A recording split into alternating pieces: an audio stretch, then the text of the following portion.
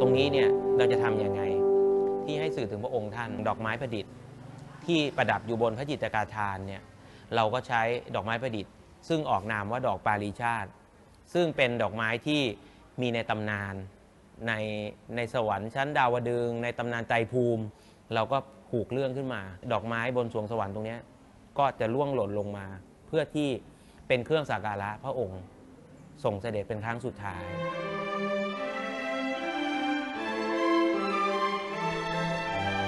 อกปาริชาติในตำนานบนสวรรค์ชั้นดาวดึง เมื่อผลิบานจะส่งกลิ่นหอมไกล ผู้ใดสูดดมจะระลึกชาติได้ คือที่มาของการรังสรรค์ ดอกไม้ในจินตนาการ ประดับบนพระจิตกาธาน ใช้สีเหลืองซึ่งเป็นสีของวันพระราชสมภพของในหลวงรัชกาลที่ 9 กลีบดอกเป็นสีชมพูอมแดง คือสีกำลังวันส่วนเกสรคัดสรรจากเมล็ดพันธุ์ที่พระราชทานให้กับเกษตรกร เช่นข้าวเปลือกจากทุ่งกุลาร้องไห้ เมล็ดข้าวโพดจากเชียงใหม่ เมล็ดถั่วเขียวถั่วแดง มาประดิษฐ์เป็นเกสร อบร่ำด้วยน้ำปรุงตามกรรมวิธีโบราณของราชสำนัก ให้มีกลิ่นหอมราวดอกปาริชาติแห่งสรวงสวรรค์ เกสรชั้นในสุดประดับด้วยอัญมณีนพรัตน์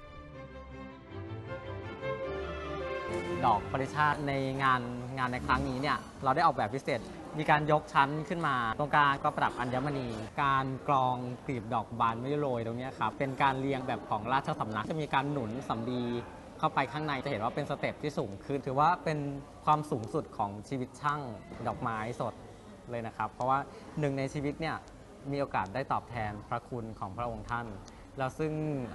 ตัวตัวของผมเองเนี่ยได้เรียนอยู่ที่โรงเรียนช่างฝีมือในวังชายนะครับ ซึ่งเป็นโรงเรียนที่อยู่ในความอุปถัมภ์ของพระองค์ท่านอยู่แล้วนะครับ ก็คือถือว่าเป็นความใกล้ชิดอย่างมากนะครับ ตรงนี้ถือว่าเป็นความภูมิใจมาก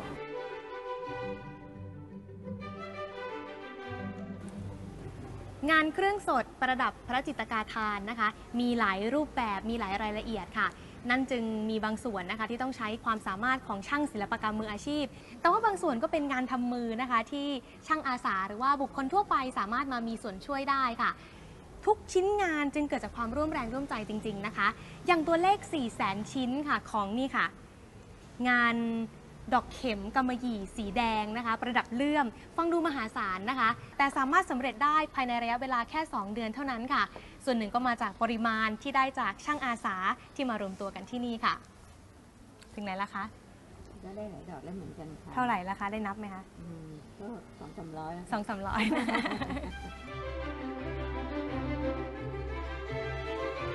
ดอกเข็มกำมะหยี่ เตรียมติดร้อยกรองตะข่ายดอกไม้สดกำหนดไว้4 0 0แสนดอกใกล้ความจริง ด้วยความร่วมมือของจิตอาสา ต่างคนต่างมา แต่รวมใจเพื่อเป้าหมายเดียวกัน รู้สึกดีใจว่าทุกคนรักพระองค์ท่านเนาะไม่ว่าจะเป็นตั้งแต่สูงอายุ ยันกระทั่งวันนี้มาเห็นเด็กของพระตำหนักสวนกุหลาบเนี่ยเด็กอนุบาล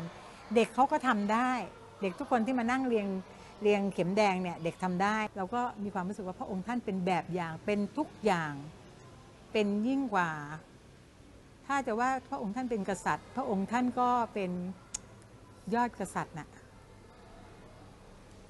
และเราดีใจว่าเราได้เกิดมาอยู่ในสมัยพระองค์ท่าน ในสมัยที่เราได้เกิดมาตั้งแต่เด็กเราเห็นพระองค์ท่านมาจนกระทั่งเราได้ส่ง พระองค์ท่าน สด็จกลับ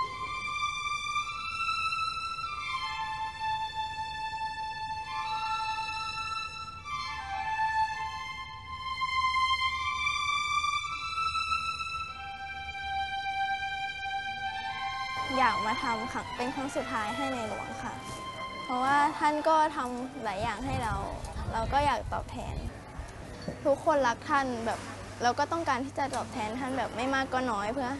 แบบ ทั้งหมดที่ท่านทำงานมาเพื่อประชาชนทุกคนค่ะ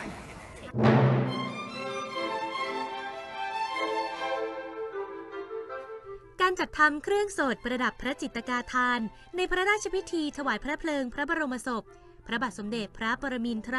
มหาภูมิพลอดุลยเดชถือเป็นเครื่องประกอบพระอิสริยยศ สืบกันมาตามโบราณราชประเพณี เป็นการรวมงานช่างฝีมือสามแขนง คืองานช่างแทงหยวก งานช่างแกะสลักของอ่อน และงานช่างดอกไม้สด เมื่อเป็นเครื่องสดจึงไม่สามารถเตรียมไว้ล่วงหน้าได้นานหลายชิ้นงานต้องเร่งมือทำก่อนวันงานพระราชพิธีเพียงสองวัน ครั้งนี้ยังมีตัวแทนช่างพื้นบ้าน คือช่างฝีมือเครื่องสด และช่างแทงหยวก4ภูมิภาค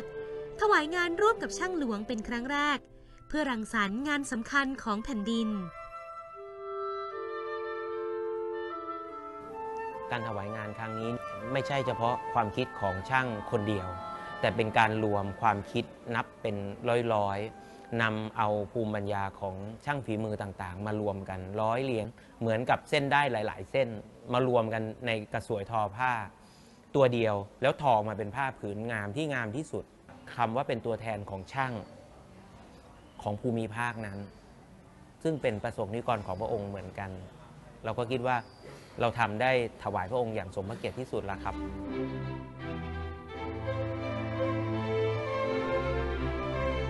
รูปแบบการประดับตกแต่งพระจิตกาทานชั้นเรือนยอด 9 ชั้น ยึดตามแบบของเก่า เมื่อครั้งถวายพระเพลิงพระบรมศพ พระบาทสมเด็จพระมงกุฎเกล้าเจ้าอยู่หัวรัชกาลที่ 6 หลังคาชั้นเรือนยอดประดับด้วยงานเครื่องสด ร้อยกรองดอกไม้เป็นตะข่ายทุกชั้น ขอบปิดด้วยลวดลายแทงหยวก เรียกหยวกรัดเกล้า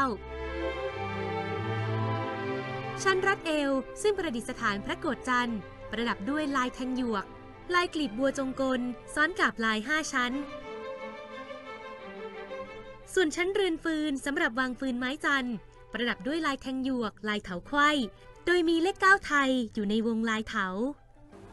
นี่คือร่างแรกนะคะของการออกแบบการแทงหยวกให้เป็นรูปเลขเก้าไทยในลายเถาค่ะ ซึ่งช่างศิลปกรรมผู้ออกแบบยังเก็บกระดาษแผ่นนี้เอาไว้อย่างดีนะคะ ลงวันที่ 3 สิงหาคมปี 2560 ค่ะ ที่ตั้งใจเก็บแล้วก็จะใส่กรอบเอาไว้ เพราะว่าอยากจะให้เป็นความทรงจำแล้วก็ในอนาคต ได้ย้อนกลับมาดูวิธีคิดของตัวเองนะคะ ว่ามีที่มาที่ไปอย่างไรกว่าจะลงตัว และอยากจะให้เป็นประโยชน์ต่อการออกแบบลวดลายใหม่ ๆ ต่อไปค่ะ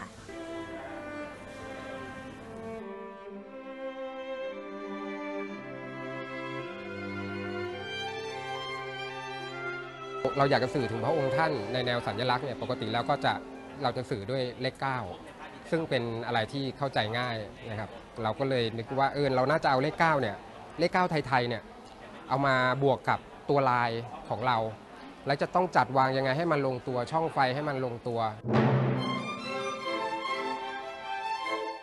ยังมีรูปปั้นเทวดานั่งคุกเข่าชั้นพรม 8 องค์ ประดับหน้าเสาชั้นฐานเรือนฟืน ลักษณะพระพักและพระวรกายยึดตามรูปแบบประเพณีไทย มีพระวรกายสีขาว พระหัตถ์ขวาถือพระขัน เพื่อถวายการอารักขา พระผู้เสด็จสู่สวรรคาลัย เหล่านี้คือผลงานที่เกิดจากการทุ่มเทใจกายของช่างหลายแขนง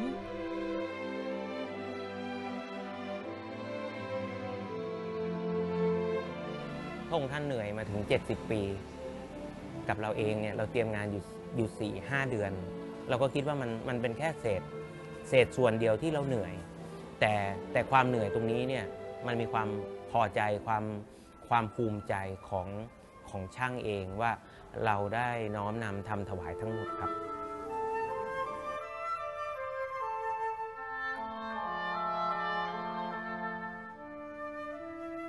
กริษฐาดีมี ไทย PBS รายงาน